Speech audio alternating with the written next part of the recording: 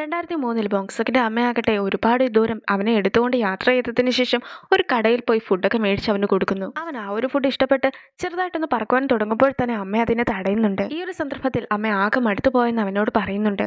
അമ്മയാകട്ടെ അവനെയും കൂട്ടിക്കൊണ്ട് ഒരു വലിയ സ്റ്റേഡിയത്തിൽ എത്തിയതിനു ശേഷം മൂന്ന് വർഷത്തേക്കുള്ള വാടക ഒന്നിച്ചങ്ങ് കൊടുക്കുകയാണ്. മാത്രമല്ല ഒരിക്കൽ പോലും ഇവിടേക്ക് വരരുതേ എന്ന് ആ ഒരു ഓണറിനോട് പറയുകയും ചെയ്യുന്നു. ബോക്സൊക്കെ അമ്മ മീറ്റൊക്കെ മേടിക്കുവാനായിട്ട് കടയിലെത്തി കഴിയുമ്പോഴത്തേക്കും അവന് വല്ല അംഗവൈകല്യവും ഉള്ളതാണോ. അതുകൊണ്ടാണോ അവനെ എടുത്തിരിക്കുന്നതെന്ന് കടയുടെ ഓണറും ചോദിക്കുന്നു. അവൻ ഒരു പ്രശ്നവുമില്ല എങ്കിൽ പോലും ഇതുപോലെ പ്രശ്നമുള്ള ആരെങ്കിലും വരികയാണെങ്കിൽ നിങ്ങൾ ഇങ്ങനെയൊക്കെ സംസാരിക്കുമ്പോൾ ആ ഒരു കുഞ്ഞിന് എന്തൊക്കെ തോന്നുമെന്ന കാര്യം നിങ്ങൾക്ക് വല്ല വിചാരവും ഉണ്ടോ എന്നൊക്കെ ചോദിച്ചുകൊണ്ടാണ് അമ്മ നിൽക്കുന്നത്. ഈ ഒരു സമയത്താണ് ആ സ്ത്രീയുടെ യഥാർത്ഥത്തിലുള്ള മകൻ വരുന്നത്. അവന് ബുദ്ധിക്കൊരു തകരാറുള്ള കൂട്ടത്തിലാണ്. അവനാകട്ടെ ബോക്സോക്കിന് ഒരു മിഠായിയൊക്കെ കൊടുത്തിട്ടാണ് പോകുന്നത്. ആ സ്ത്രീയോട് ദേഷ്യപ്പെട്ട് സംസാരിക്കാൻ പാടില്ലായിരുന്നു എന്ന് ബോക്സോക്കിന്റെ അമ്മയും ഓർക്കുന്നുണ്ട്. പിന്നീട് കയ്യിലുണ്ടായിരുന്ന കൂട് തുറന്ന് നോക്കുമ്പോഴത്തേക്കും ആ സ്ത്രീ ആകട്ടെ അതിൽ നിറയെ മിഠായികളും വെച്ചിട്ടുണ്ടായിരുന്നു. പിന്നീട് അമ്മയാകട്ടെ തിരിച്ചു ചെന്ന് മാപ്പൊക്കെ പറയുന്നുണ്ട്. വെറും ഒരു തെറ്റിദ്ധാരണ മൂലമുണ്ടായ ഈ ഒരു കാര്യത്തിന് നീ മാപ്പ് പറയേണ്ടതില്ല എന്നാണ് ആ ഒരു സ്ത്രീ പറയുന്നത്. നിനക്ക് എപ്പോഴും കുഞ്ഞിനെ ഇങ്ങനെ പിടിച്ചോണ്ട് നടക്കുവാനൊന്നും സാധിക്കുകയില്ല. അവനെ വളരുവാനായിട്ട് അനുവദിക്കണം. നീ നിന്നെ ഒട്ടും തന്നെ ശ്രദ്ധിക്കുന്നില്ല. നീ ആ കണ്ണാടിയിലേക്ക് നോക്ക്. നിന്റെ അവസ്ഥ ഇനിയെങ്കിലും നീ മനസ്സിലാക്കുന്നൊക്കെ ആ സ്ത്രീ പറഞ്ഞ് കഴിയുമ്പോഴത്തേക്കുമാണ്. ബോങ്സോക്കിന് ഇനിയും ഇതുപോലെ കെട്ടിയിട്ട് വളർത്തുവാൻ സാധിക്കുകയില്ല എന്ന സത്യം അമ്മ മനസ്സിലാക്കുന്നത്. അങ്ങനെ അമ്മയാകട്ടെ ബോങ്സോക്കിന് നടക്കുവാനായിട്ട് പഠിപ്പിക്കുകയാണ്. അവൻ കുറച്ച് നടന്ന് കഴിയുമ്പോഴത്തേക്കും അമ്മ അത് കണ്ട് സന്തോഷിക്കുന്നത് കാണുമ്പോഴത്തേക്കും അവനും സന്തോഷമുണ്ടായി. അവൻ പറക്കുന്നു.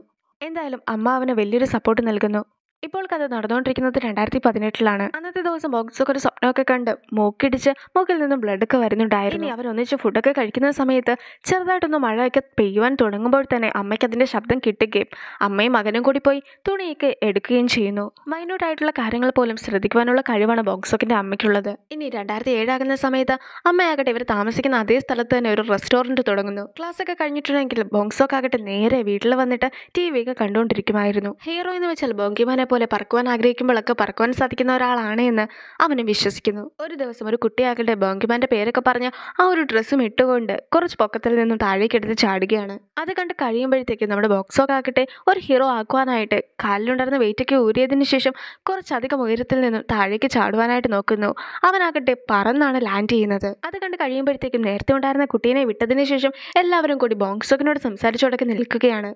ഈ ഒരു കാഴ്ച നമ്മുടെ പ്രിൻസിപ്പൾ ജോയിൻ കാണുന്നു.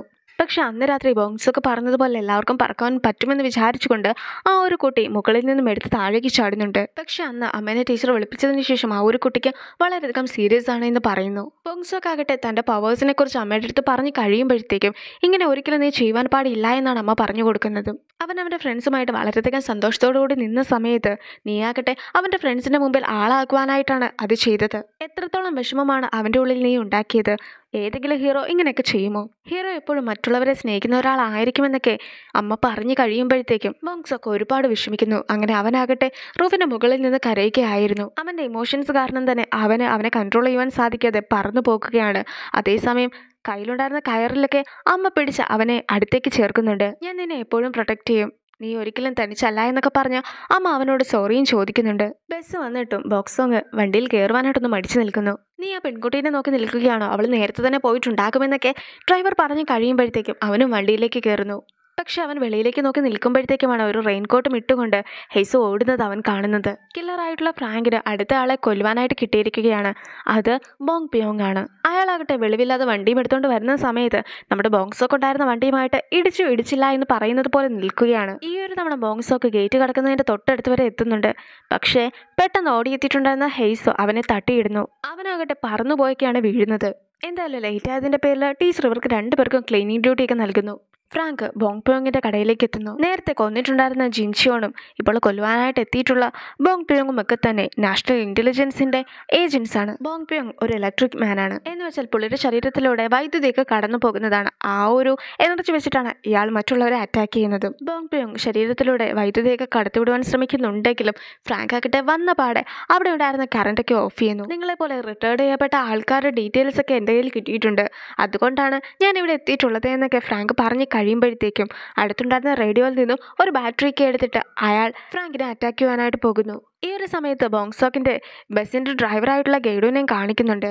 ബസ്സിന്റെ കണക്ഷനിൽ ഇലക്ട്രിസിറ്റിയുമായി ബന്ധപ്പെട്ട് എന്തൊക്കെയോ മാറ്റം സംഭവിക്കുന്നുണ്ട് എന്ന കാര്യം ഗൈഡുവിന് മനസ്സിലാകുന്നുണ്ട്. ബോംപ്യോങ്ങും ഫ്രാങ്കും തമ്മിൽ നല്ലൊരു ഫൈറ്റ് തന്നെയാണ് നടക്കുന്നത്.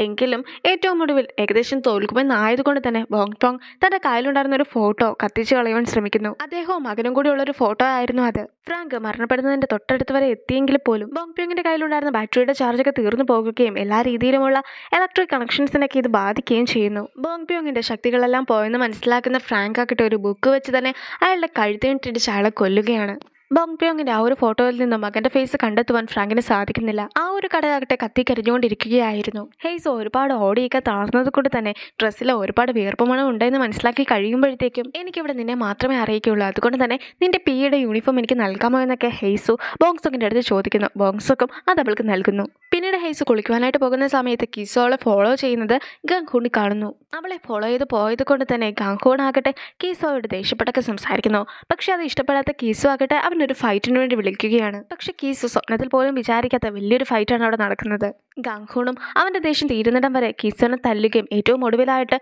ഒരിടി അവിടെ ഉണ്ടായിരുന്ന ഒരു മരത്തിന് ഇടിക്കുകയും ചെയ്യുമ്പോഴത്തേക്കും മരം പോലും ഒടിഞ്ഞു വീഴുന്നു. അതായത് ഗാങ്ഹൂഡ് എന്ന് പറയുന്നത് സൂപ്പർ ഹ്യൂമൻ സ്ട്രെങ്ത് ഒക്കെ ഉള്ള ഒരാളാണ്. ഹേയ് ബോങ്സോക്കിന്റെ യൂണിഫോം ഒക്കെ ഇട്ടുകൊണ്ട് വന്നതിന് ശേഷമാണ് ബോങ്സോക്കിന്റെ പേര് പോലും അവൾ ചോദിക്കുന്നത്. ബോങ്സോക്കിന്റെ പേര് അവൾ പറഞ്ഞു കഴിയുമ്പോൾ തന്നെ ബോങ്സോക്കിന് പറക്കുവാനൊക്കെ തോന്നുന്നുണ്ട്. ടീച്ചർ ക്ലാസ്സിലെത്തി കിസു എവിടെയാണെന്ന് ചോദിക്കുമ്പോഴത്തേക്കും ഗംഹൂൺ ആകട്ടെ അവൻ നേരത്തെ തന്നെ വീട്ടിലേക്ക് പോയെന്നൊക്കെ പറയുന്നുണ്ട്. ഗംഹൂൺ പഠിക്കുവാനായിട്ട് വരുന്നില്ലേ എന്നൊക്കെ ഹെയ്സുവിനോട് ചോദിക്കുമ്പോഴത്തേക്കും ഇന്ന് ഞങ്ങൾക്ക് ക്ലീനിങ് ഡ്യൂട്ടി ഉണ്ട് എന്നൊക്കെയാണ് ബോങ്സോക്ക് പറയുന്നത്. എന്ത് തന്നെ ആയാലും ഹെയ്സിന് യൂണിഫോം കൂടി മേടിക്കുവാനുണ്ടായിരുന്നു. അതുകൊണ്ട് തന്നെ അവളുടെ കൂടെ ബോങ്സോക്കും പോകുന്നു.